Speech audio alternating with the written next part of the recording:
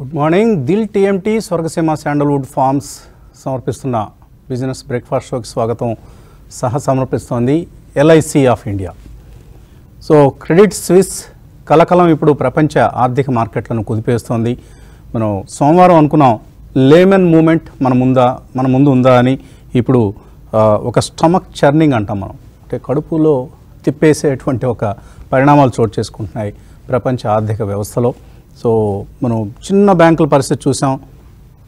Silicon Valley bank లేకపోతే Silvergate ఇలాంటి banks చిన్న చిన్న బ్యాంకులు రీజనల్ బ్యాంక్స్ నుంచి ఇప్పుడు సంక్షోభం కాస్త ముదిరి ఒక ఎంఎన్సీ బ్యాంకుకి స్ప్రెడ్ అయింది. కోర్స్ ఇది ఈ ఎంఎన్సీ బ్యాంక్ గత కొంతకాలంగా సంక్షోభంలో ఉన్నదే. ఇప్పుడు ఈ సంక్షోభం మరింతగా ముదిరింది. ఒక లైఫ్ లైన్ ఆక్సిజన్ అందుకునే దుస్థితిలోకి చేరింది క్రెడిట్ స్విస్ అనే స్విట్జర్లాండ్కి చెందిన బ్యాంక్ ఇది. సో మనం చాలాసార్లు క్రెడిట్ స్విస్ ఈ విధంగా అన్నది మన కంపెనీల గురించి అని చదువుతూ ఉండేవాళ్ళం. ఇప్పుడు అటువంటి రిపోర్ట్లు అందించే క్రెడిట్ స్విస్ బ్యాంకే స్వయంగా సంక్షోభంలో కూరుకుపోయింది సంక్షోభంలో చిక్కుకుంది. క్రెడిట్ స్విస్ బ్యాంక్ని ఇప్పుడు అందరూ డెబిట్ స్విస్ బ్యాంక్ అంటున్నారు. సో అటువంటి ఒక దారుణమైన దయనీయమైన దుస్థితిలోకి చేరింది బ్యాంక్. సో యుఎస్ తన వరీస్ని ఇప్పుడు యూరోప్కి బదిలీ చేసినట్లుగా కనిపిస్తోంది. అఫ్ కోర్స్ ఏషియన్ మార్కెట్లు ఈ మార్నింగ్ కొద్దిగా తేరుకున్నాయి లోవర్ లెవెల్స్ నుంచి. అయినా కూడా హెడ్లైన్ ట్రేడింగ్ మార్కెట్స్ ఇవి. సో ప్రతిరోజు మనం గ్లోబల్ క్యూస్ మనం కొంతకాలంగా అనుకుంటున్నాం. ఇప్పుడు మనకు లోకల్ క్యూస్ ఏవి ముఖ్యం కాదు. గ్లోబల్ క్యూస్ కారణంగానే మార్కెట్లు చెల్లిస్తూ ఉంటాయని. అదే ఇప్పుడు జరుగుతోంది. హెడ్లైన్ ట్రేడింగ్ ఏ విధంగా ఉంది? ఈ ఉదయం అని చూస్తే నెగిటివ్ హెడ్లైన్స్ కనిపిస్తున్నాయి. ఒక షాటరింగ్ అంటే ఒక షాకింగ్ హెడ్లైన్స్ అనే అనేవి కనిపిస్తున్నాయి. గతంలో మనం లేమెన్ క్రైసిస్ అప్పుడు కూడా ముందుగా సమస్య ప్రారంభమైంది ఒక చిన్న బ్యాంకుతోనే. అప్పుడు కూడా ఆ బ్యాంక్ పేరు నాకు గుర్తులేదు but it started with a small bank. అక్కడ నుంచి అది ఒక దావానంలా విస్తరించింది. మనందరికీ తెలుసు ఏ విధంగా ప్రపంచ ఆర్థిక వ్యవస్థ తలకిందులైంది ఆ సమయంలో. సో ఇప్పుడు సిస్టమిక్ రిస్క్ లేదు అని యుఎస్ చెప్పింది కానీ ఉంది అని క్రెడిట్ స్విస్ లాంటి బ్యాంక్స్ నుంచి మనకు సంకేతాలు అందుతూ ఉన్నాయి. ఫిఫ్టీ ఫోర్ బిలియన్ డాలర్స్ ఐదు వేల నాలుగు వందల కోట్ల డాలర్లని అందించేందుకు ఇప్పుడు స్విస్ నేషనల్ బ్యాంక్ ముందుకు వచ్చింది అసలు ప్రాబ్లం ఎక్కడొచ్చింది? ఎవరైతే క్రెడిట్ స్విస్కి గత కొంతకాలంగా ఆర్థికంగా వెన్నుదన్నుగా నిలుస్తుందో సౌదీ నేషనల్ బ్యాంక్. వాళ్ళు చేతులు ఎత్తేసారు ఇక మేము మీకు సపోర్ట్ చేయలేం మిమ్మల్ని. మీ ప- మీ సొంతంగా మీరు ఏదో ఒక ఏర్పాట్లు చేసుకోండి అని. అప్పుడు ఇక తప్పనిసరి పరిస్థితుల్లో స్విస్ రెగ్యులేటర్స్ ముందుకు వచ్చారు so Swiss Switzerland National Bank ఇప్పుడు క్రెడిట్ స్విస్కి సుమారుగా ఐదు వేల నాలుగు వందల కోట్ల డాలర్ల ఫండింగ్ ఇచ్చేందుకు ముందుకొచ్చింది. లేకపోతే బ్యాంక్ కుప్పకూలిపోయే పరిస్థితి. ఇది చాలా కాలంగా జరుగుతోంది ఇది. ఎందుకంటే క్రెడిట్ స్విస్ బ్యాంక్ గత సుమారుగా ఏడాది కాలంగా రకరకాల ప్రమాదాల్లో చిక్కుంది బల్గేరియాలో డ్రగ్ డీలర్స్కి మనీ లాండరింగ్కి అనుమతించింది. మొజాంబిక్లో కరప్షన్ చేయించింది. క్లయింట్ డేటాను మీడియాకి లీక్ చేయడం ఇలా రకరకాల వివాదాలు చుట్టుముట్టి ఈ బ్యాంక్ని ఒక దశలో ఫోర్ హండ్రెడ్ బిలియన్ ఫ్రాంక్స్ ఉన్న డిపాజిట్స్ కాస్త టూ హండ్రెడ్ బిలియన్ ఫ్రాంక్స్కి పడిపోయాయి. అక్కడ నుంచి మేనేజ్మెంట్ చాలా డ్యామేజ్ కంట్రోల్ ఎక్సర్సైజ్ చేసింది కానీ ఏమాత్రం పరిస్థితి చక్కబడలేదు. ఇప్పుడు ఇక ఫ్రెష్గా డిపాజిట్స్ రాకపోతే బ్యాంక్ తన కార్యకలాపాలు ఆపివేయాల్సిందే. అంటే బ్యాంక్ కొలాప్స్ అయిపోతుంది. సో అటువంటి కొలాప్స్ నుంచి కాపాడండి అని మొత్తుకోవడంతో స్విట్ స్విస్ రెగ్యులేటర్స్ రంగంలోకి దిగాల్సి వచ్చింది. సో ఇది ఇంకా చాలా పెద్ద కథ ఇది. ఒక గంట సేపు నడపచ్చు. మనం కార్యక్రమం మొత్తాన్ని కూడా దీంతో కానీ సూక్ష్మంగా క్లుప్తంగా చెప్పాలంటే ఇది క్రెడిట్ స్విస్కి సంబంధించిన కథ. ఈ కథ ఎక్కడికి దారితీస్తుందంటే ఎవ్వరం చెప్పలేం. మనందరం మాకేమీ కాదు మాకేమీ కాదు అని మనం చంకలు గుద్దుకుంటే అయిపోదు పరిస్థితి ఇక్కడ. చాలా క్లిష్ట పరిస్థితి ఇది ప్రపంచానికి. Maybe Indian banks are isolated అంటే ఎంతో కొంత ఎఫెక్ట్ ఉంటుంది. ఇప్పుడు అసలు బ్యాంకులు బ్యాంకులో డిపాజిట్స్ అంటేనే మొన్న నన్ను చాలామంది ఫోన్ చేసి అడిగారు ఏంటి మన బ్యాంకుల్లో పర్లేదా? డిపాజిట్స్ ఉంచొచ్చా? లేకపోతే తీసేసి క్యాష్ పెట్టుకోమంటారా అని. అంటే ఒక చిన్నపాటి అప్రమత్తత అందరిలోనూ వస్తుంది. అది యుఎస్ఏ లాంటి కంట్రీస్లో మరీ ఎక్కువగా వస్తుంది. సో బ్యాంకులు అంటే భయపడిపోయి బ్యాంకుల నుంచి డిపాజిట్స్ బయటికి తీశారనుకోండి ఏం జరుగుతుంది? రన్ ఆన్ బ్యాంక్స్ వస్తుంది. అది కలకలానికి సంక్షోభానికి ఒక చాలా తీవ్రమైన ఉద్రిక్త పరిస్థితులకి దారితీస్తుంది. కాబట్టి అందరం కూడా ప్రతి నిమిషం వార్తల్ని గమనిస్తూ ఉండాలి. వార్తలు అంటే ఇక్కడ మనం మనం పొలిటీషియన్స్ వార్తలు కాదు. ఆర్థికంగా ఏం జరుగుతోంది అనే వార్తల్ని గమనిస్తూ ఉండాలి. అవి గమనిస్తూ జాగ్రత్తగా ఉండవలసిన సమయం ఆసన్నమైంది. నిన్నైతే మనకు యూరోపియన్ స్టాక్స్ అన్నీ కొప్పుకులాయి. Last night US markets S and P five hundred కావచ్చు నాస్డాక్ కావచ్చు one point four to one point seven percent intraday lows నుంచి రికవర్ అయ్యాయి. సో మనం నిన్న మార్నింగ్ కూడా అనుకున్నాం. కొంచెం అందరూ కూడా ఒక వెయిట్ అండ్ వాచ్ మూడ్లోకి వచ్చేసారు. ఎవరు ఫ్రెష్గా ఇన్వెస్ట్ చేయట్లేదు. కానీ ఇన్వెస్ట్మెంట్స్ స్టార్ట్ చేయాల్సిన సమయం ఇది అని. ఎక్కడ స్టార్ట్ చేయాలి? ఎందులో చేయాలి? ఎటు ఎటు చూసినా సెల్లింగ్ వస్తుంది. కంటేజియన్ ఎఫెక్ట్ అంటాం. ఒక సెక్టర్లో పర్లేదులే ఐటీ సెక్టర్ బాగానే ఉందనుకుంటే ఐటీ సెక్టర్కి ఇప్పుడు ప్రధానమైన క్లయింట్స్ ఎవరు? Banking and financial services industry. Almost majority of the big కంపెనీస్కి fifty percent of their income BFSI sector నుంచి వస్తుంది. ఇప్పుడు ఆ బిఎఫ్ఎస్ఐ సెక్టర్ కనుక ప్రాబ్లంలోకి వెళ్తే ఐటీ కంపెనీలు కూడా ఆ వేడి తగులుతుంది ఆ ఎఫెక్ట్ తగులుతుంది. కాబట్టి ఏ సెక్టర్ని మనం అతీతంగా చూడలేం. మేబీ డొమెస్టిక్ కన్జ్యూమర్ కంపెనీస్ ఏమైనా బాగుంటాయంటే మనం చూస్తున్నాం హిందుస్థాన్ యూనిలివర్ లాంటి కంపెనీస్లో కూడా సెల్లింగ్ వస్తుంది. కాబట్టి కంపెనీల బ్యాలెన్స్ షీట్స్ బహుశా ఎఫెక్ట్ కాకపోవచ్చేమో కానీ స్టాక్ ప్రైసెస్ మాత్రం ఎఫెక్ట్ అవుతాయి. అది మనం గమనించాల్సిన అంశం. కాబట్టి కేర్ఫుల్గా ఉండాలి. ప్రత్యేకించి FII dominated stocks and global ఎక్స్పోర్ట్స్ని మీద ఆధారపడి రెవెన్యూస్ uh, ఆర్జించే కంపెనీల పట్ల జాగ్రత్తగా ఉండాలి. డొమెస్టిక్ ఓరియంటెడ్ కంపెనీస్ పట్ల మనం సానుకూలంగా ఉండొచ్చు. అండ్ ఎఫ్ఐఎస్ సెల్లింగ్ ఇక్కడ ఇక్కడ ఎక్కడ ఆగేలా లేదు. మనం జనవరిలో చూసాం twenty eight thousand eight fifty two crores worth stocks వాళ్ళు అమ్మేశారు. ఫిబ్రవరిలో five thousand three hundred crores అమ్మారు. ఈ ఏడాదిలో ఇప్పుడు మనకు పాజిటివ్గా కనిపిస్తుంది twelve thousand five seventy five crores అని ఫిగర్ కానీ అందులో అదాని డీల్ ఉంది కదా. It was more than I think fifteen thousand crores ఎంత ఉంది నాకు కరెక్ట్గా ఫిగర్ గుర్తులేదు. సో అది కలుపుకుంటే నెగిటివ్లోకి వెళ్ళిపోయింది మళ్ళీ. కాబట్టి ఎఫ్ఐఎస్ సెల్లింగ్ ఆగడం లేదు. అండ్ ఈక్విటీ ఇన్ఫ్లోస్ పట్ల ఇప్పుడు ఇన్వెస్టర్స్ విముఖత చూపిస్తున్నారు. కొద్ది రోజులు అయితే ఇదే పరిస్థితి కంటిన్యూ అయితే స్టాక్ మార్కెట్ అంటేనే భయపడిపోతారు ఇన్వెస్టర్స్ సో అవి అది అసలైన సమయం కొనుగోలు చేసేందుకు అది వేరే విషయం. సరే మనం కొనుగోలు చేయటం చేయకపోవటం అనే త- తర్వాత పక్కన పెడదాం. బట్ మార్కెట్లో ఉన్న సెంటిమెంట్ మాత్రం నిన్న అనుకున్నాం మనం. మార్కెట్లో ఎప్పుడు టెక్నికల్స్ ఫ్లోస్ అండ్ సెంటిమెంట్ ఈ మూడు డామినేట్ చేస్తాయి ట్రేడింగ్ ఐ మీన్ నెంబర్స్ని కానీ ఇప్పుడు టెక్నికల్స్ కంటే కూడా మనకి sentiment and flows into the market ఈ రెండు నెగిటివ్గా ఉన్నాయి కాబట్టి చాలా చాలా జాగ్రత్తగా ఉండాల్సిన సమయం. అది మనం ఈ మార్నింగ్ స్పష్టంగా మాట్లాడుకోవాల్సిన అవసరం. ఎక్కడ అవుతుందండి ఈ fall sixteen thousand eight hundred అవుతుందా సిక్స్టీన్ థౌసండ్ అవుతుందా ఫిఫ్టీన్ థౌసండ్? ఎవరికి తెలియదు ఇది ఇది దాటితే ఇది ఇది దాటితే ఇది అని ఒక లెక్కలు ఉంటాయి. అంతేగాని ఇక్కడ అవుతుంది అనేది ఎవ- ఎవరికి కూడా తెలియదు ఎవరికి తెలియని అంశం. గుడ్ మార్నింగ్ ఆ, కుటుంబరావు గారు.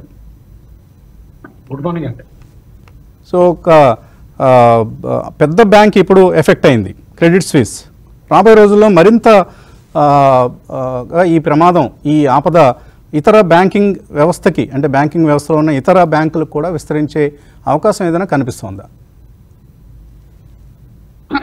ఇప్పుడు క్రెడిట్ స్విస్ ఇన్సిడెంట్ తర్వాత ఏదైనా పాసిబుల్ అనేది కాస్త స్లైట్ ఇండికేషన్ తెలుస్తోందండి. నిన్న మార్నింగ్ మనం అనుకున్నాం వడ్డీ రేట్లు కంటిన్యూస్గా ఇంత నాన్ స్టాప్గా పెంచినప్పుడు యుఎస్ ఫెడ్ దానికి అనుగుణంగా మిగతా సెంట్రల్ బ్యాంక్స్ అన్ని కూడా పెంచితే accidents are bound to happen and ఆ యాక్సిడెంట్స్ ఎప్పుడు ఎట్లా అవుతాయి అనేది మనకు తెలియదు అని చెప్పేసి అని ఎస్విబి క్రైసిస్ ఒక యాక్సిడెంట్ అనుకుంటే కనుక ఇక దాంతో సమసిపోతుంది అనుకుంటే ఇప్పుడు చూస్తున్నాం మనం.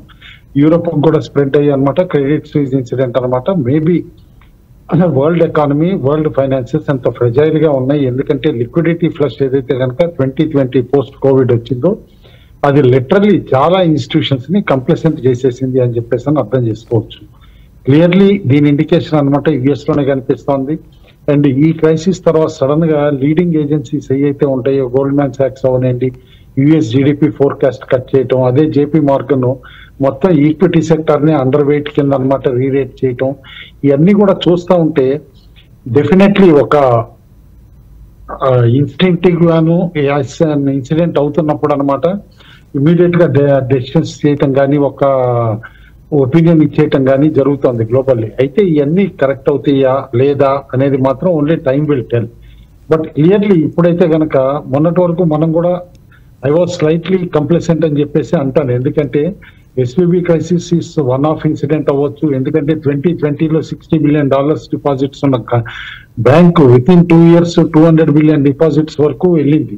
బేసికల్లీ బికాస్ లిక్విడిటీ మూలన అక్కడ స్టాక్స్ కానీ కానీ వీళ్ళందరూ పెట్టడం మూలన అంత షార్ప్గా nearly two hundred percent deposits పెరిగింది కదా కాబట్టి something is going to happen అన్నట్టు అయ్యింది అనుకున్నాం. కానీ ఇక్కడ one of the weaker banks ఏదైతే అనుకున్నామో క్రెడిట్ స్విస్ అనమాట it's more like a global merchant banker అన్నమాట. అయ్యిందో క్లియర్లీ తెలుస్తుంది. వన్ ఇయర్ నుంచి కనుక కేర్ఫుల్గా చూస్తే already eighty one percent crash అయింది Credit Suisse over the year అన్నమాట. నిన్న ఫాల్ అన్నమాట is one part of the full year fall అన్నమాట. దాని వీక్నెస్ ముందే అండర్లయింగ్ వీక్నెస్ చాలా ఉండింది అనమాట కౌంటర్లు అయితే బట్ డెఫినెట్లీ ఇప్పుడు ఆ ఎక్స్పోజ్ అయిపోయింది. ఎక్స్పోజ్ అవ్వటం తోటి బేసికల్లీ వాళ్ళకి సపోర్ట్ చేసిన సౌదీ ఇన్వెస్టర్స్ అవనండి ఎవరైనా రాకపోవటం తోటి నేను అనుకోవటం మాత్రం డెఫినెట్లీ కేర్ఫుల్గా వెయిట్ అండ్ వాచ్గా ఉండాలి. ఈ గ్లోబల్ గ్లోబల్ క్రైసిస్ ఎట్లా అన్ఫోల్డ్ అవుతుంది అనేది అనమాట ఎందుకంటే నిన్న చూసాం ఒకేసారి ఆయిల్ కూడా దాదాపు ఫైవ్ పర్సెంట్ పడిపోయి అనమాట వన్ ఇయర్లోకి వచ్చేసింది క్రూడ్ ఆయిల్ కూడా. అంటే డెఫినెట్లీ గ్లోబల్ ఎకానమీ ఇంపాక్ట్ అవుతుందని ఫోర్కాస్ట్ ఫోర్కాస్టర్స్ అనుకుంటున్నారా అనేది మనం అబ్జర్వ్ చేయాల్సి వస్తుంది. డాలర్ ఎన్ను కొంచెం పెరగటం కూడా చూసాం. As and asset class currencies అనమాట రెండు కూడా స్ట్రెంత్ చూపించింది కాబట్టి broader economies across the world definitely impact అవుతాయి అనేది ఒక ఇండికేషన్ అయితే వస్తుంది. మన దగ్గర రూపాయి కూడా మేము ఒకేసారి twenty eight paisa క్షీణించనమాట eighty two point six five వరకు కూడా పడిపోవటం మనం చూసాం. అయితే మార్కెట్లో ఎట్లా ఉంటుంది అంటే కూడా నిన్న ఓపెన్ ఇంట్రెస్ట్ కానీ ఏదైనా చూస్తే కనుక స్టాక్స్లో చాలా మంది స్టక్ అయిపోయి ఉన్నారు. ఇండెక్స్ బేస్డ్ కౌంటర్స్ కూడా అనమాట రిలయన్స్ కానీ ఇలాంటివన్నీ వీక్గా ఉండటంతో అనమాట ఇండెక్స్లో ఏ మాత్రం సపోర్ట్ లేకుండా morning one twenty one fifty points gap up ఉన్న నెగిటివ్ అంత ఈజీగా వెళ్ళిపోయి హండ్రెడ్ పాయింట్స్ పైన బిలో క్లోజ్ అయిందో చూసాం మనం. కాబట్టి రిపీటెడ్గా చెప్తున్నది ఏదైతే ఉందో ఎఫ్ఎండో జాగ్రత్తగా ఉండండి ఎక్స్ట్రీమ్లీ లైట్గా చేయండి ట్రేడర్స్ తోటి అనమాట స్మాల్ క్వాంటిటీస్ అనేది. క్లియర్లీ ఆ కాషన్ షుడ్ బి కంటిన్యూడ్ ఇంకా ఎందుకంటే విక్స్ కూడా దాదాపు అంటే వాలటిలిటీ ఇండెక్స్ అన్నమాట. ఇప్పటికి సిక్స్టీన్ పైన ఉంది విచ్ ఇస్ ప్రతి హై అనమాట అంటే వాలటిలిటీ ఇప్పుడప్పుడే సబ్సిడీ కాదు అనేది అర్థం చేసుకోవచ్చు.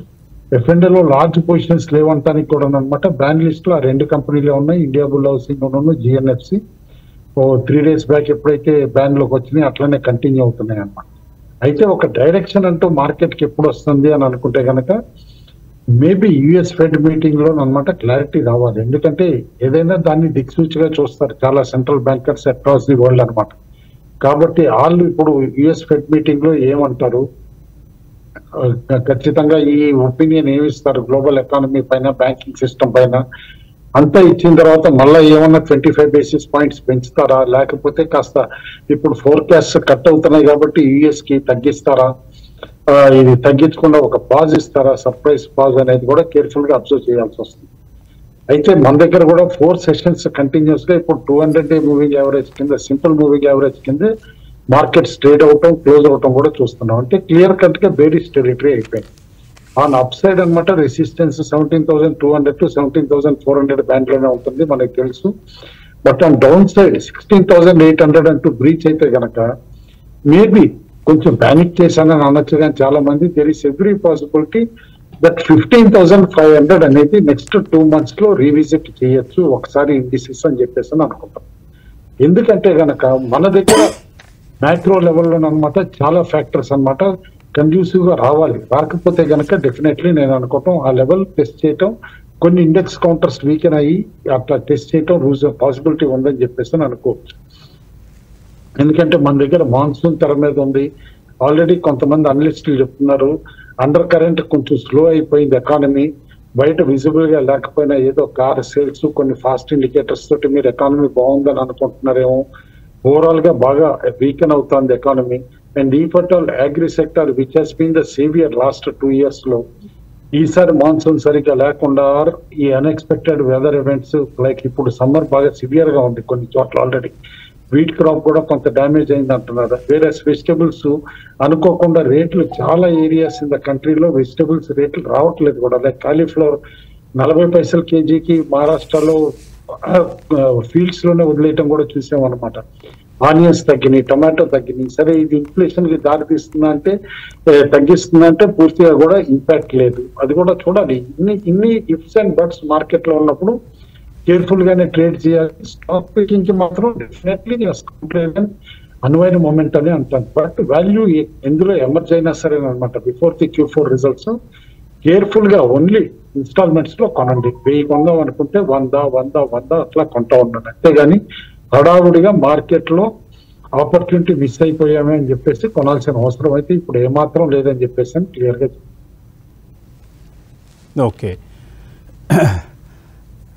ఇన్సిడెంటలీ మన అందరికీ తెలుసు టూ థౌజండ్ ఎయిట్ సంక్షోభం పేరు లేమన్ క్రైసిస్ తర్వాత దాన్ని గ్లోబల్ ఫైనాన్షియల్ క్రైసిస్ అన్నారు బట్ లేమన్ బ్రదర్స్ కొలాబ్స్తో ప్రారంభమైన క్రైసిస్ అది. ఇన్సిడెంటలీ క్రెడిట్ స్విస్ ఏదైతే ఇప్పుడు సంక్షోభంలో చిక్కుకొని అందరినీ కలవర పెడుతుందో ఆ సంస్థ చైర్మన్ పేరు కూడా Axel P Lehman. So Lehman అనే పదం గ్లోబల్ ఫైనాన్షియల్ క్రైసిస్కి సినానిమ్గా ప్రత్యామ్నాయ పదంగా మారినట్లుగా కనిపిస్తోంది. సో యాక్సెల్ పి లేమన్ సారథ్యంలో నడుస్తున్న క్రెడిట్ స్విస్ ఇప్పుడు ప్రపంచ ఆర్థిక వ్యవస్థకు ఒక షాక్ ఇస్తోంది. లెటస్ ఏ విధంగా పరిణామాలు. అయితే ఒకటి మనం గుర్తుంచుకోవాలండి. టూ థౌజండ్ ఎయిట్ క్రైసిస్ తర్వాత India Indian economy is always resilient అండి. అది మన ప్రభుత్వ వి- విధానాల్లో ఉన్న పటిష్టతకి ఒక నిదర్శనంగా చెప్పుకోవచ్చు. సో అప్పుడు మనం చాలా చక్కగా మిగతా ఎకానమీస్ కంటే బెటర్గా పెర్ఫామ్ చేస్తాం. ఇప్పుడు కూడా డెఫినెట్లీ విల్ పెర్ఫామ్ బెటర్ అయితే అప్పుడు ఫారిన్ ఇన్వెస్టర్స్ తర్వాత రోజుల్లో గ్లోబల్ ఫైనాన్షియల్ క్రైసిస్ తర్వాత రోజుల్లో ఇండియన్ మార్కెట్స్లో విపరీతంగా ఇన్వెస్ట్ చేశారు. ఇప్పుడు ఆఫ్ కోర్స్ వెళ్ళిపోతున్నారు. ఎప్పుడైనా ఎక్కడైనా ఏదైనా వ్యవస్థ ప్రాబ్లంలో ఉంటే అన్ని వ్యవస్థలోంచి డబ్బులు తీసేసుకుంటారు వాళ్ళు. తీసుకొని ముందు క్యాష్గా పెట్టుకుందాం తర్వాత సంగతి తర్వాత చూస్తాం అనుకుంటారు. సో నా నమ్మకం ఏంటంటే ఈసారి కూడా ఒకవేళ ఈ సంక్షోభం మరింతగా ముదిరి కొంత గందరగోళం ఏర్పరిస్తే గందరగోళం సర్దుమణిగిన తర్వాత number one destination they located is not China or Vietnam or Indonesia but it will be definitely Indian capital markets. So అందులో ఎటువంటి సందేహం వస్తుంది కాబట్టి ఇన్వెస్ట్ చేసేందుకు సిద్ధంగా ఉందాం. నిన్న ఒక నాలుగు స్టాక్స్ గురించి మనం యూట్యూబ్ uh, పీవైటీ ప్రాఫిటేటెడ్ యూట్యూబ్ వీడియోస్లో మన కుటుంబరావు చక్కగా వివరణ ఇవ్వడం జరిగింది. ఈరోజు I request Kutumbarao to speak about one particular stock అంతే. Reliance Industries fifty two week lows దగ్గర ఉంది ఇప్పుడు. సో ఏంటి అసలు రిలయన్స్ ఇండస్ట్రీస్లో ఏం జరుగుతోంది? ఈ లో నుంచి ఇంకా కిందకి వెళ్తుందా? పైకి వెళ్ళే ఛాన్స్ ఉందా? మాట్లాడతారు ఒక చిన్న బ్రీఫ్ వీడియో ద్వారా. బ్రేక్ తీస్తున్నాం ఇప్పుడు. TMT Swargaseema sandalwood farms and uh, LIC సమర్పిస్తున్న uh, బిజినెస్ బ్రేక్ఫాస్ట్ షోకి స్వాగతం. ఆ, Rajendra garu so cell on rallies ఇదే ట్రేడర్స్కి ప్రస్తుతానికి శ్రీరామ రక్షగా కనిపిస్తోంది. సో ఇంకా ఎంతకాలం ఇదే సూక్తిని మార్కెట్ ఫాలో అయ్యే అవకాశం కనిపిస్తోంది? ఇట్స్ వెరీ క్లియర్ వస్తుంది గారు నేను ఉదయం కూడా మనం చెప్పడం జరిగింది. As long as seventeen five sixty seven ఏదైతే two hundred day moving average ఉందో దాని కింద ఉన్నంత కాలం సెల్ ఆన్ ర్యాలీస్ డెఫినెట్గా we need to choose but ఇక్కడ నుంచి six hundred points pull back వస్తుందంటే ప్రాబ్లీ ఎస్ అని కూడా చెప్పొచ్చు. ఎందుకంటే వీ సీన్ లాస్ట్ టైం కూడా సెవెంటీన్ టూ హండ్రెడ్ వచ్చి ఆల్మోస్ట్ సెవెంటీన్ ఎయిట్ హండ్రెడ్ దాకా పెరగటం చేశాం. సో అది కూడా వెరీ స్విఫ్ట్గా ఉంటుంది. సో జనరల్ ఏమవుతుందంటే మార్కెట్ పెరిగినప్పుడు ఓకే బాటమ్ ఫామ్ అయిపోయింది ఇంక ఇక్కడ నుంచి సెల్లింగ్ రాదని చెప్పి పర్సెప్షన్లో వీ డోంట్ సెల్ సో అలాంటివి మిస్ అవుతాం కాబట్టి definitely we should keep in mind seventeen four eighty twenty day moving average seventeen five sixty seven is two hundred day moving average that becomes the supply zone అక్కడికి వస్తే కనుక definitely should cell so నిన్న మనం చెప్పినట్టు ఎవరైనా ఉదయం అమ్ముంటే కనుక నిన్ననే they made two hundred points from the top so ఇప్పుడు బ్రేక్ డౌన్ అనేది ఎక్కడ అనేది చూస్తాం. So all this day psychologically seventeen thousand is a psychological support నేను అది బ్రీచ్ అయింది కాబట్టి now I think will go for next support level so next support level ఎక్కడ ఉంది అంటే కనుక October two thousand twenty two లో ఏదైతే ఉందో sixteen eight fifty five. So అదొక సపోర్ట్ ఉంది. And sixteen thousand seven forty seven అనేది సెప్టెంబర్లో అన్నమాట. సో ఈ రెండు కూడా సపోర్ట్ జోన్గా ఉంటాం. ఒకవేళ seventeen eight fifty five seven forty sorry uh, sixteen eight fifty five sixteen forty seven forty seven కనుక వైలేట్ చేసాయంటే కనుక ఇంత కుటుంబంలో క్లియర్గా చెప్పారు. ఫిఫ్టీన్ థౌసండ్ ఫైవ్ లెవెన్ నుంచి fifteen thousand one eighty three కూడా వచ్చే ఛాన్స్ ఉంది. ఇట్స్ నథింగ్ రాకెట్ సైన్స్ అండి సింపుల్ చార్ట్స్ వచ్చి మనం వీ కెన్ టాక్ ఎందుకంటే లాస్ట్ ఇయర్ ఆగస్ట్లో fifteen five eleven was the low and దాని తర్వాత సెకండ్లో was sixteen seven forty seven so ఒకవేళ sixteen seven forty seven cut అయింది అంటే కనుక we can go as low as fifteen five hundred so that level open up అవుతుంది. అంటే మనం వర్టికలీ పడతామని కాదు. So that we should be prepared so I think pull backs వచ్చినా కూడా I think it's sell on rallies గేమ్గా మనం we should treat and Bank Nifty కూడా similar charts మనం చూస్తున్నాం. థర్టీ నైన్ థౌసండ్ కింద ఎప్పుడైతే క్లోజ్ అయిందో బడ్జెట్ రోజు లో కింద క్లోజ్ అవటం చూసాం క్లియర్గా. I think now thirty nine four one nine and forty thousand fifty six would act as a clear resistances so thousand points very common అండి బ్యాంక్ నిఫ్టీలో. వన్ డే లోనే వీఆర్ సీన్ పెరగటం కానీ పడటం కానీ సో అలాంటి మూవ్ వచ్చినప్పుడు starting opportunity definitely తీసుకోవాలి. బట్ స్టాప్ లాస్ స్ట్రిక్ట్గా పెడతాం it's very very important so అది మర్చిపోకూడదు యూజువలీ సో మనం ట్రేడ్ చేయడం ఈజీ కానీ బట్ స్టాప్ లాస్ పెడతాం. చాలా మంది they miss out that's where I think we should do so ఎక్కడ కూడా మనకి రిస్క్ రివార్డ్ అనేది ఫేవరబుల్ ఉన్నప్పుడు we should take the trade so thousand points పైన మనకి షార్టింగ్ ఉంది కాబట్టి అక్కడ షార్ట్ పొజిషన్ తీసుకుని maybe hundred one fifty points we should keep stop loss అదేవిధంగా మనం ఏ స్టాక్ని షార్ట్ సేల్ చేయాలనేది కూడా వీ నీడ్ టు డిసైడ్ నా సో ప్రాబ్లీ ఇప్పుడున్న ఫేజ్లో probably HDFC AMC and ఫిరమన్ enterprises ఈ రెండే కూడా చాలా బేరిష్గా ట్రేడ్ అవుతున్నాయి. సో ఈ రెండిట్లో కూడా shorting opportunity we should take and of course మీరు చెప్పిన రిలయన్స్ ఇందాక అన్నారు. సో అది కూడా టూ త్రీ వన్ ఫైవ్ ఏదైతే బ్రీచ్ అయిందో ఐ థింక్ అది కూడా వీక్నెస్ ఎగ్జిబిట్ చేస్తుంది. Of course all I mean fifty two వీక్లో is twenty one eighty so two one eight zero cut అయిందంటే కనుక it can go to further lows so మనం అనుకుంటాం వసంత్ గారు బేసికలీ సో స్టాక్స్ అన్ని పడ్డాయి కదా ఇంకేం స్టాక్స్ పడతాయి ఇక్కడ నుంచి? నిఫ్టీ కాంపోనెంట్స్లో. అంటే ఈ థౌసండ్ ట్వెల్వ్ హండ్రెడ్ పాయింట్స్ ఒకవేళ పడాలంటే. సో మనం చాటికలీ ఫిఫ్టీ స్టాక్స్ని కనుక గమనిస్తే అపోలో హాస్పిటల్ ఇంకా ఎక్కువ క్రాక్ అవ్వలేదు. ఐటీసీ స్టిల్ ఏ విన్నర్ అని చెప్పొచ్చు. అండ్ ఎల్ఎన్టీ క్రాక్ అవ్వలేదు ఎక్కడ కూడా. So public sector enterprises like Coal India GAIL PFC ఇవన్నీ కూడా సెవెన్ ఎయిట్ స్టాక్స్ ఏవైతే నిఫ్టీలో ఉన్నాయో still they are moving side way so వాటిల్లో బ్రేక్ డౌన్ వస్తే కనుక నిఫ్టీ పడే ఛాన్సెస్ కనిపిస్తుంది. Otherwise most of the banking కానీ ఐటీ కానీ ఇవన్నీ కూడా ప్రాబ్లీ మళ్ళా లోస్ రివిజిట్ చేసే ఛాన్స్ ఉంది. ఫర్ ఎగ్జాంపుల్ బంధన్ బ్యాంక్ లాంటి స్టాక్స్ ఇండస్ ఇండ్ బ్యాంక్ స్టాక్స్ ఇంకా ఫర్దర్గా వీక్ అయ్యే ఛాన్స్ ఉంది. ఇన్ఫాక్ట్ ఐటీ స్పేస్లో మనం విప్రో చూస్తే కనుక again it has come to new low ఇప్పుడే.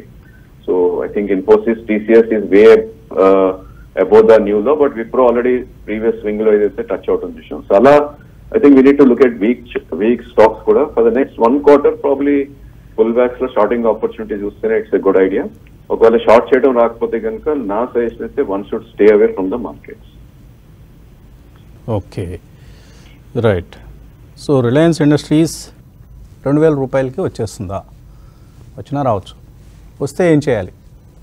Is it a screaming buy or stay away ఇది కుటుంబరావు ఇవాళ పీవైటీ వీడియోలో ఎక్స్ప్లెయిన్ చేయబోతున్నారు.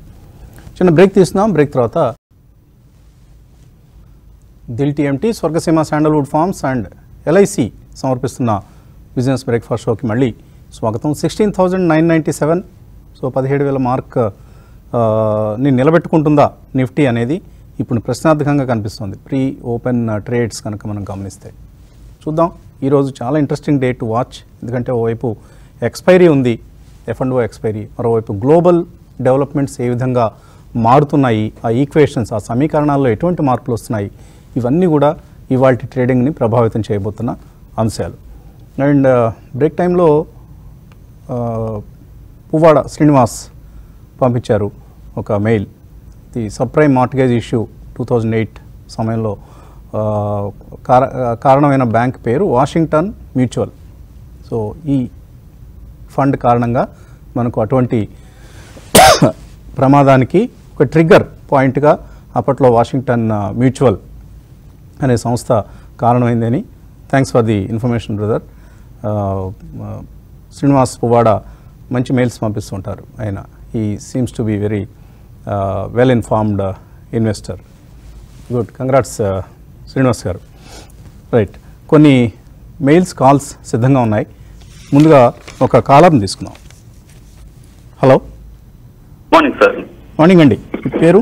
సార్ వసంత గారు నాది Mphasis nineteen hundred put option తీసుకున్నా సార్ రాజేంద్ర గారు చెప్పిన ఫిఫ్టీ టూ వీక్స్ బిలో ఇది రన్ అవుతుందని పుట్ ఆప్షన్ తీసుకున్నాను అది. ఇంకోటి Apollo Hospital four thousand five hundred call option ఉంది సార్. ఇది రెండింటి గురించి చెప్పమన్నారు కదా సార్ రాజేంద్ర గారు? సో ఏంటి అపోలో పుట్ ఆప్షన్ ప్రీమియం ఎంత ప్రీమియం మీరు చెల్లించారు? వన్ ట్వంటీలో తీసుకున్నా సార్. అది పెరుగుతుంది ఒకసారి అని తీసుకున్నా sir. Nineteen hundred put option తీసుకున్నారు. Apollo Hospitals four thousand five hundred. Rajendra garu? Mphasis అడిగినట్టున్నారండి.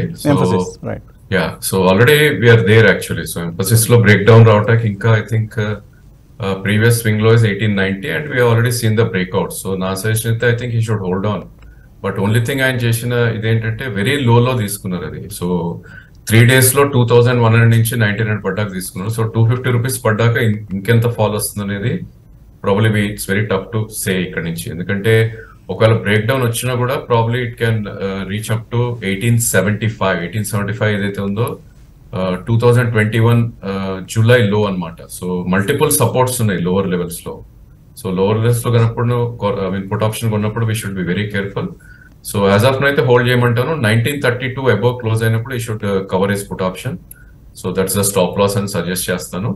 And probably eighteen seventy five eighteen fifty మధ్యలో I think we should cover the position. So uh, I think that's the thing about Mphasis. And Apollo కూడా probably forty five four thousand five hundred call option కొన్నా అని చెప్పారు Apollo Hospital. So I don't think you will make money ఇందులో అండి. ఎందుకంటే next couple of days కూడా ఇది side వేస్ వెళ్ళే ఛాన్స్ ఉంది. Maybe up side it fit can goes I mean up side ఒకవేళ పెరిగినా కూడా ఫార్టీ ఫైవ్ హండ్రెడ్ దాకా వెళ్ళే ఛాన్స్ ఉంది. Beyond that I don't see in the charts as of now so ఒకవేళ ఫార్టీ ఫైవ్ హండ్రెడ్ వచ్చి if you're lucky అక్కడ you should try to exit and definitely forty to sixty కింద you should have your stop loss అనమాట call ఆప్షన్కి కూడా. Okay మరో caller లైన్లో ఉన్నారు. హలో నమస్తే అండి మీ పేరు? సార్ నా పేరు రాకేష్ సార్ హైదరాబాద్ నుంచి మాట్లాడుతున్నాను. ఒకటి. అడగండి రాకేష్. సార్ ఎల్ఐసి వచ్చేసి ఎయిట్ ఎయిటీ నైన్ రూపీస్లో ఫిఫ్టీన్ షేర్స్ బై చేశాను ఓకే. ఫిఫ్టీ ఫిఫ్టీ షేర్స్ కొన్నారు. ఎయిట్ ఎయిటీ LIC వచ్చేసి eight eighty nine shares fifteen eight nine eight eighty nine రూపీస్లో ఫిఫ్టీన్ షేర్స్ బై చేశాను అండ్ ఒలెక్ట్రా వచ్చేసి సెవెన్ ఎయిటీ రూపీస్లో hundred shares buy చేశాను Olectra Olectra okay. కుటుంబంలో ఎల్ఐసి అండ్ ఒలెక్ట్రా ఏం చేయాలి? పర్లేదు చాలు. రెండు రెండు స్టాక్స్ గురించి మాట్లాడదాం. కుటుంబంలో ఎల్ఐసి ఏం చేయాలి? ఒలెక్ట్రా సెవెన్ ఎయిటీ హై ప్రైస్లో ఎంటర్ అయ్యారు. ఎల్ఐసి అయితే ఇప్పుడు చేయాల్సింది ఏమీ లేదండి. ఎందుకంటే మనం చూస్తున్నాం కంటిన్యూస్గా లిస్టింగ్ దగ్గర నుంచి అట్లా వీక్నెస్ జనరేట్ అయింది. పైగా మళ్ళా అదానీ సాగా మూలాన మధ్యలో స్టాక్ ఇంపాక్ట్ అయ్యి in fact Adani stocks lower levels దగ్గర నుంచి రికవర్ అయినా సరే ఎల్ఐసి ఏదైతే అదానీ సాగాకి ముందు ఏడు వందల దగ్గర నిలబడంతో ఏడు వందల నుంచి ఇప్పుడు five hundred five hundred and seventy ఆ లెవెల్స్కి వచ్చేసి ఏమాత్రం ఇంప్రూవ్మెంట్ కూడా రాలేదు. నేను అనుకుంటే it will take time confidence maybe government of India కూడా అనమాట ఇన్వెస్టర్స్ని తిరిగి తన దగ్గర ఉంచుకోవాలి అని అనుకుంటే కనుక ఇలాంటి పబ్లిక్ సెక్టర్ జైంట్ అనమాట ఇట్లా వెల్త్ డిస్ట్రక్షన్ కంటిన్యూస్గా చేస్తే కాన్ఫిడెన్స్ పోతుందని చెప్పి ఏ బైబ్యాక్ అనో ఏదో ఒకటనో షోరప్ చేయాలి షేర్ ప్రైస్ అదర్వైజ్ డిఫికల్ట్ అనమాట fundamentally it is a sound company largest insurance player in the country దానికి పోటీ కూడా ఎవరు లేరు. కానీ డెఫినెట్ మాత్రం వీక్ ఉంది అసఫ్నం వెయిట్ అండ్ వాచ్ అని అంటారు. అమ్మాల్సిన అవసరం అయితే లేదు. వాల్యూ ఉంది. ఏ విధంగా ఎప్పుడు అన్లాక్ అవుతుంది అనేది కేర్ఫుల్గా మనం చూడాల్సి వస్తుంది. ఓకే ఒలక్ట్రా మాత్రం డెఫినెట్లీ రీసెంట్ స్క్వాట్ ఏదైతే వచ్చిందో దాని తర్వాత న్యూస్లో కూడా మనం చూసాం. క్లియర్ కట్గా అనమాట ప్రమోటర్స్ కూడా ప్రిఫరెన్షియల్కి వాళ్ళు కూడా సబ్స్క్రైబ్ చేసి ఇటు ఫండ్స్ తీసుకురావడానికి ఎక్స్పాన్షన్ కూడా ప్రిపరేషన్ ఏదైతే చేస్తున్నారో స్పీడ్గా మూడు రోజుల్లో స్టాక్ మూడు వందల ఎనభై నుంచి ఏడు వందలు అయినప్పుడు అనమాట కంగారు పడరు చాలా మంది కానీ మళ్ళీ ఏడు వందల దగ్గర నుంచి ఆరు వందలకు ఒకసారి వస్తుందంటే మాత్రం కంగారు ఉంటుంది ఖచ్చితంగా. Stay invested for long term stock will definitely give good returns అని చెప్పేసి అని అంటారు. ఓకే. మరో కాలర్ లైన్లో ఉన్నారు. హలో. హలో. సార్ నమస్తే సార్. నమస్తే అండి. సార్ నా పేరు శివ హైదరాబాద్ నుంచి. అడగండి శివ. సార్ ఆ లారస్ ల్యాబ్స్ నా దగ్గర ఒక థర్టీ ప్రైస్ దగ్గర ఒక ఫైవ్ హండ్రెడ్ ఉంది సార్. సో ఈ ప్రైస్లో యావరేజ్ చేసుకోవచ్చా? అదొకటి. ఆ, ఇంకొకటి వచ్చి ఎస్బీఐ ఈ కరెంట్ ప్రైస్ మొన్నే ఫైవ్ ఫిఫ్టీ మీద ఒక ఫోర్ హండ్రెడ్ షేర్స్ కొన్నాం సార్. Hmm. ఇప్పుడు మళ్ళీ ఫైవ్ హండ్రెడ్ దగ్గరకు వస్తే మళ్ళీ ఇంకొకసారి యావరేజ్ చేసుకోవచ్చా? అన్నది ఈ రెండు చెప్పండి సార్ కొంచెం. ఎస్బీఐ లాంటి బ్యాంకుల్లో మనం ఎక్కడ యావరేజ్ చేయాలి అనే అంశం గురించి ఆలోచించడం కంటే ఎస్ఐపి చేయడం మంచిదండి. ఎందుకంటే మీరు మీరు ఇన్వెస్ట్ చేసిన తర్వాత మళ్ళీ ఇంకొక నలభై రూపాయలు ముప్పై రూపాయలు తగ్గే ఛాన్సెస్ ఉంటాయి. ఇటువంటి వీక్ మార్కెట్స్లో ఏదైనా సాధ్యమే. కాబట్టి ఒక రెండు ప్రైస్ పాయింట్స్లోనే నేను కొంటాను అంతకంటే కొన్నంటాం కరెక్ట్ కాదు. ఎస్బీఐ ఎస్ఐపి చేయండి. నా సలహా అయితే అది. లారస్ ల్యాబ్స్ ఫైవ్ హండ్రెడ్ రూపీస్లో కొన్నారు. ఇప్పుడు బాగా తగ్గింది. రాజేంద్ర గారు? లారెన్స్ మనం చూస్తే Vasanth garu last two months నుంచి it's going into time correction more than price correction so ఒక లెవెల్ అనేది ఇట్స్ ట్రైన్ టు ఫార్మ్ అనమాట త్రీ హండ్రెడ్ నుంచి త్రీ ట్వంటీ మధ్యలో. సో నా ఉద్దేశంలో it will spend more time ఇక్కడ నుంచి కూడా. I think we need to wait for the result అండి. సో ఒకసారి రిజల్ట్ ఏప్రిల్ రిజల్ట్స్ తర్వాత we should try to take a decision on Laurus ఎందుకంటే ఇది త్రీ హండ్రెడ్ అండ్ థర్టీ కింద ఉన్నంత వీక్నెస్ ఉండే ఛాన్స్ ఉంది. సో లోవర్ లెవెల్స్ ఎక్కడికి వస్తుంది అంటే కనుక ప్రాబ్లీ యాజ్లో యాజ్ టూ ఫిఫ్టీ అని చెప్పొచ్చు. Of course two hundred and eighty దగ్గర ఒక కీ సపోర్ట్ ఉంది. అది బ్రీచ్ అయితే మన two thousand twenty November price అన్నమాట. అంటే almost two and half years back ఏదైతే ప్రైస్ ఉందో that is two fifty two so that's where I think should try to average లేదు అంటే కనుక we should wait for it to break down so ఆ break down అనేది three thirty seven తర్వాత వస్తుంది అక్కడ we should buy otherwise pretty much ఇది three hundred to three thirty రేంజ్లో ఉండే ఛాన్స్ ఉంది. ఐ థింక్ ఈ క్వార్టర్ రిజల్ట్స్ కూడా బాగోకపోతే వీఆర్ సీన్ బిగ్ మూవ్స్ ఉంటాయి కాబట్టి maybe I think two eighty two fifty would act as a demand zone అది కూడా three years time frame I mean one to three years time frame ఉంటే Laurus they should buy okay right మరో caller లైన్లో ఉన్నారు. Hello sir good morning sir morning అండి. Sir మీ analysis అంతా చాలా బాగుంటుంది. We're investing from the last four years మంచి రిటర్న్స్ కూడా వచ్చినాయి. హ్యాపీయెస్ట్ మైండ్స్ కానీ ఈ కానీ Hmm. మంచి రిటర్న్స్ తీసుకున్నాం. మళ్ళీ ఇప్పుడు return back to Happiest Minds మళ్ళీ పెడదామని అనుకుంటున్నాను ఇప్పుడు. Hmm. హ్యాపీయెస్ట్ మైండ్స్ ఒకటి గాడ్ఫ్రే ఫిలిప్స్ ఒకటి. నా పోర్ట్ఫోలియో యాడ్ చేసుకుందాం అనుకుంటున్నాను సార్ హ్యాపీయెస్ట్ మైండ్స్ ఇంకోటి right time to invest sir మనకి ఇప్పుడు. హ్యాపీయెస్ట్ మైండ్స్ కాకుండా ఇంకో stock ఏదన్నారు? Godfrey Phillips sir Godfrey Phillips okay so మంచి ఆలోచన చేస్తున్నారు. కానీ ఒకటే ప్రైస్ పాయింట్లో మీరు ఇన్వెస్ట్ చేయటం అనేది కరెక్ట్ కాదు. ఎంత ఇన్వెస్ట్ చేద్దాం అనుకుంటున్నారు ఈ రెండు కౌంటర్స్లో? Sir one point five lakhs దాకా ఇన్వెస్ట్మెంట్ చేద్దాం అనుకుంటున్నాను. And it was under the every deep every addition లాగా చేసుకుంటూ వెళ్దాం అనేది ఒక ఇంకా యాడ్ చేసుకునే ఓకే. అక్యూములేషన్ పద్ధతిలో మీరు ఈ స్టాక్స్ కొందాం అనుకుంటున్నారు. మంచి ఆలోచన చేస్తున్నారు. రెండు కూడా డీసెంట్ కంపెనీస్ ఇప్పుడు వారు Godfrey Philips and happiest minds ఏ ప్రైస్ పాయింట్స్లో కొనుక్కోవచ్చు? లాంగ్ టర్మ్కి డెఫినెట్లీ అనమాట రెండు గుడ్ స్టాక్స్ అండి. మీరు చెప్పింది కూడా అనమాట there is no second thought about it అనమాట బట్ నేను అనుకోవటం మాత్రం యాజ్ ఆఫ్ నో అనమాట ఆయనకి పేషెన్స్ కూడా కావాలి. ఇప్పుడు ప్రైస్ పాయింట్ అంటే ఇప్పుడు Godfrey Phillips already fifty two week హైకి దగ్గరలోనే ఉంది. ఇప్పుడు కూడా అనమాట దాదాపు నైన్టీన్ హండ్రెడ్ దగ్గర ట్రేడ్ అవుతుంది. Fifty two week high twenty one fifty కాబట్టి ఇక్కడి నుంచి కూడా స్టార్ట్ చేయొచ్చు. ఎందుకంటే స్టాక్ అనమాట ఇన్వెస్టర్ ప్రెజెంటేషన్ లాస్ట్ ఏదైతే జనవరి ఎండ్లో ఇచ్చారో చూస్తే they given out a very positive outlook కాబట్టి start accumulating even from current price point అని చెప్పేసి అని అంటాను మేబీ ప్రిపరేషన్ ఒకసారి one six sixteen hundred to seventeen హండ్రెడ్కి ఒకసారి పడే పాసిబిలిటీ అయితే ఉంది. మధ్యలో మార్కెట్ ఇంకా డీపర్ కరెక్షన్ వస్తాయి. కరెక్ట్ హ్యాపీయెస్ట్ మైండ్స్ కూడా డెఫినెట్లీ అబ్సల్యూట్ బాటమ్స్ అనేది మనం వీటిలో క్యాచ్ చేయడం డిఫికల్ట్ అండి. అది గుర్తుంచుకోవాలి. ఎవరన్నా నేను అబ్సల్యూట్ బాటమ్లో కొన్నాను అబ్సల్యూట్ టాప్లో అమ్మగలిగానంటే కనుక వాళ్ళు బ్లఫ్ చేస్తున్నారని చెప్పేసి. ఇప్పుడు Happiest Minds fifty two week లోస్కి దగ్గరలో within couple of percentage points fifty two week లోగా అండ్ ఆల్రెడీ మనం చూసాం స్టాక్ ఎంత కరెక్ట్ అయింది అనేది అనమాట లాస్ట్ వన్ ఇయర్లో one of the weaker stocks అని చెప్పేసి మనం అనుకోవాలి along with other mid cap IT stocks కూడా. But definitely buy at start accumulating at current levels అని అంటాం ఓకే సో బిగ్ ఫాల్స్ ఉంటాయనేది మాత్రం మీరు గుర్తుంచుకోవాలి. ఏ కౌంటర్ అయినా సరే అది హ్యాపీయెస్ట్ అయినా సరే నో హ్యాపీ అయినా సరే. సో నిఫ్టీ మనకు sixteen thousand nine forty five ఇరవై ఏడు పాయింట్ల నష్టంతో ఓపెన్ అయింది. ఎస్టెక్స్ నిఫ్టీ సూచించిన దానికి భిన్నంగా నష్టాలతో ప్రారంభమైంది మార్కెట్. నిఫ్టీ బ్యాంక్ నూట ఎనభై పాయింట్లు. సెన్సెక్స్ వంద పాయింట్లు కోల్పోయాయి. అలాగే mid cap index hundred points down and advance declines nine twenty nine stocks nine twenty nine stocks లాభాలతో లెవెన్ ట్వంటీ సిక్స్ స్టాక్స్ నష్టాలతో ప్రారంభమయ్యాయి. సో ఫిన్ నిఫ్టీ నష్టాలతో ప్రారంభమైంది. And Europe oriented stocks like Samvardhana Motherson for for example is down nine percent ఎందుకంటే ఆ కంపెనీకి యూరోప్లో subsidies ఉన్నాయి. యూరోపియన్ బిజినెస్ చాలా ఎక్కువగా రెవెన్యూస్ ఆర్జించే company Samvardhana Motherson so and metal pack is down metal index is down two percent Nalco Tata Steel ఇవన్నీ కూడా నష్టాలతో మనకు ప్రారంభమై కనిపిస్తున్నాయి. సో మదర్సన్లో ఒక లార్జ్ ట్రేడ్ కూడా ఏదో జరిగింది. Twenty five crore shares change hand set seventy rupees. And KPIT Technologies is up eight thirty rupees. మనం పదే పదే చెప్తున్నాం this this is one promising candidate from the IT pack అని. సో స్టాక్ చాలా పాజిటివ్గా మనకు ప్రారంభమైంది. రైట్ ఓకే సో ఒక నెగిటివ్ ఓపెనింగ్ అనేది మనకు మార్కెట్స్లో కనిపిస్తుంది. రాజేంద్ర గారు ఏం చేయొచ్చు ఇప్పుడు? మార్కెట్ గ్యాప్ అప్ ఓపెన్ అయ్యి immediately with in the second gap down అయిపోయింది. బట్ నిన్నట్లో డిసైసివ్లీ కింద క్లోజ్ అవుతుంది అనేది చూడాలి. First half an hour is crucial so ఏదైనప్పటికీ we are coming towards the support zone అండి. ఇక్కడైతే షార్టింగ్ డెఫినెట్లీ అడ్వైజబుల్ కాదు. ఎవరైతే రిస్క్ తీసుకునే వాళ్ళు ఉంటే కనుక seven forty seven is the stop loss అంటే ఇక్కడ నుంచి ఒక two hundred and twenty points కింద స్టాప్ ఉంది కాబట్టి ఇన్ కేస్ ఇంట్రాడేలో హండ్రెడ్ హండ్రెడ్ థర్టీ పాయింట్స్ పడితే కనుక that's where one should try to go long in నిఫ్టీగా చెప్పుకోవచ్చు.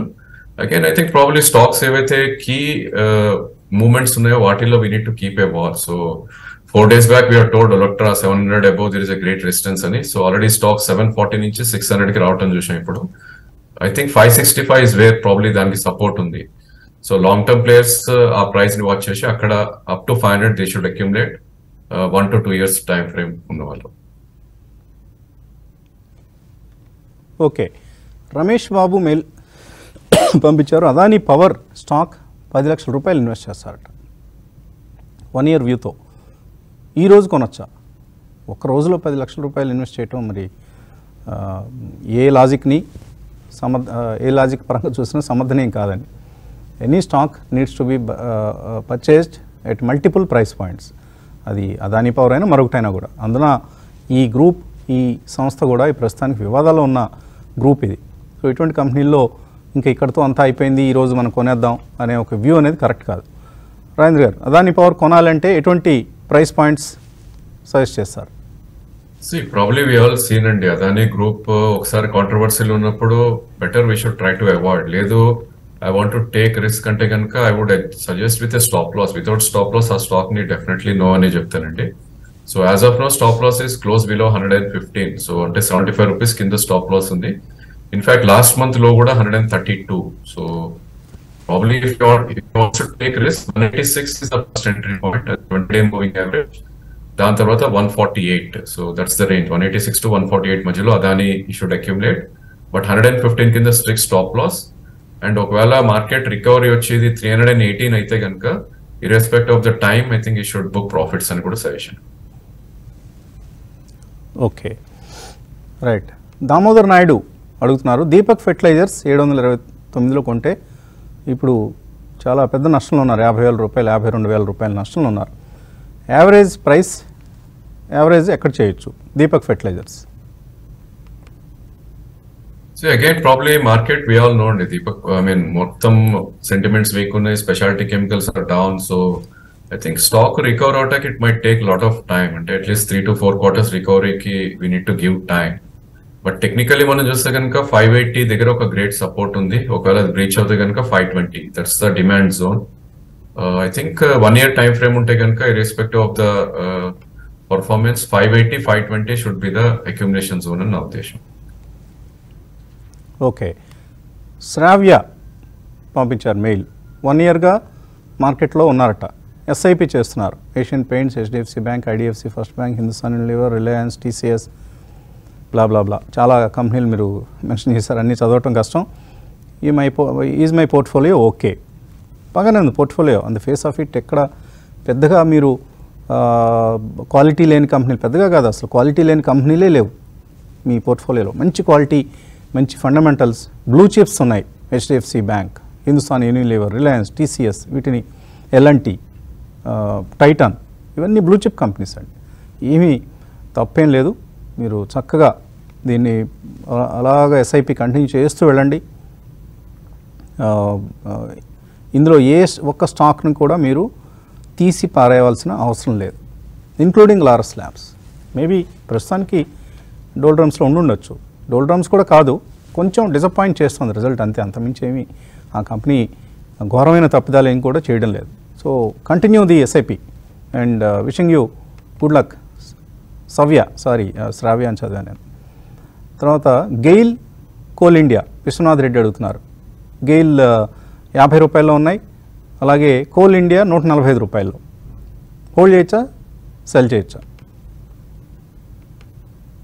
I think GAIL and all మీకు యాభై రూపాయలు ఉంటే you are seeing lot of profits అండి. I would advise to book partial profits ఒకవేళ యాభైలో కొని ఉంటే కనుక now it's trading around close to one sixty and ఇందాక అనుకున్నట్టు public sector enterprise are doing great I'm sorry hundred and eight దగ్గర trade అవుతుంది GAIL so I should book partial profits at least take out your capital fifty percent మీరు I should sell maybe గేలే again if it comes to about eighty eighty five I think అక్కడ we should try to buy in fact Coal India కూడా it's a good performer so one thirty five దగ్గర మీరు two thirty five అన్నారు? I don't know I mean ఒకవేళ కొనుంటే కనుక one thirty five one fifty మధ్యలో probably partial profits you should try otherwise ఏమవుతుందంటే public sector enterprises ఒక్కొక్కసారి bad టైమ్స్లో దే గెట్ బీటెన్ సో అది కొద్దిగా కేర్ఫుల్గా ఉండాలి బికాస్ గవర్నమెంట్ ఇంటర్వెన్షన్ ఎక్కువ ఉంటుంది కాబట్టి. దిగుమర్తి శివరాం మెయిల్ పంపించారు. పాలీప్లెక్స్ కార్ప్ ఇది కొంటారట. కరెంట్ ప్రైస్ ఓకేనా? లేదా కొంత వెయిట్ చేయటం మంచిదా? పాలిప్లెక్స్లో కరెక్షన్ ఇప్పుడిప్పుడే స్టార్ట్ అయిందండి. ఎందుకంటే లాస్ట్ ఫోర్ మంత్స్గా ఇది టూ థౌసండ్ ఫైవ్ నుంచి థర్టీ వన్ ఫిఫ్టీ దాకా వెళ్ళటం చూసాం. సో ఇప్పుడు రిట్రేస్మెంట్ మోడ్లో ఉంది. So if you have to buy for long term probably SIP is the best idea అన్న ఉద్దేశం. So two thousand nine hundred ఉంది. So two six six five వచ్చేసరికి should be fully invested so you can do SIP or try four price points choose చేసుకోమంటారు. Between two thousand nine hundred and two six five zero poly ప్లెక్సే కదా మీరు చెప్పింది? Yeah Polyplex okay uh, Polyplex is. Thirteen hundred rupees I think మీరు Polycab ఏదో పాలి. I'm sorry అండి so thirteen hundred rupees దగ్గర కనిపిస్తుంది. It is trading below its averages yeah I think Polyplex is trading very weak chartically మనం చూస్తే కనుక and fact ఇది లోవర్ లోస్ ఫార్మేషన్ జరుగుతుంది month on month so almost last one ఇయర్లో ఈ stock two thousand eight hundred నుంచి thirteen hundred దాకా పడింది. I think we should avoid అండి కంప్లీట్లీ సో మేబీ దీనికి attractive price point would be one zero nine two so two thousand twenty one ఆగస్ట్లో అనమాట ఇది so that's where we should try but otherwise avoid చేయడం it's a good idea ఉద్దేశం so ఈ levels దగ్గర కనుక support తీసుకోలేకపోతే Rajendra గారు చెప్పినట్లుగా థౌజండ్ ఇంకో 200. లెవెన్ హండ్రెడ్ మధ్యకి వచ్చే ఛాన్సెస్ కనిపిస్తున్నాయి. ఓకే సో నిఫ్టీ ఇరవై ఆరు పాయింట్ల నష్టంతో ఈ సమయంలో కనిపిస్తుంది మనకు.